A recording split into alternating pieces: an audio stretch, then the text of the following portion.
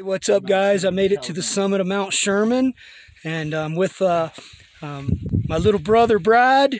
Say hello. What's up?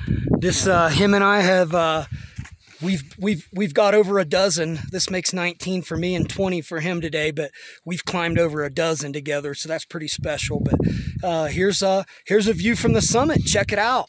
This is Mount Sherman. We're actually headed over this way next. We're going to walk the ridge line across. And uh, what mountain is that, Brad? That's Dyer Peak. Dyer Peak. So we're going to walk this uh, ridge line, and we're also headed to Gemini.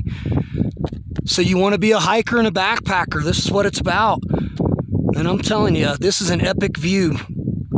You're not going to see this unless you uh, you put the work in and get up here. So. Cool. Peace out.